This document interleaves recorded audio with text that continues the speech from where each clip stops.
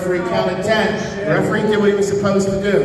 This match ends in a draw. However, under normal circumstances, hold up. Under normal circumstances, I'd give you two five more minutes. But we still have a cage to put together for a cage match. So this is what I'm going to do. November 12th, correct? November 12th at Love Drafts.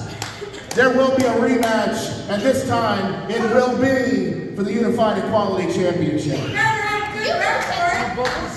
Twenty-two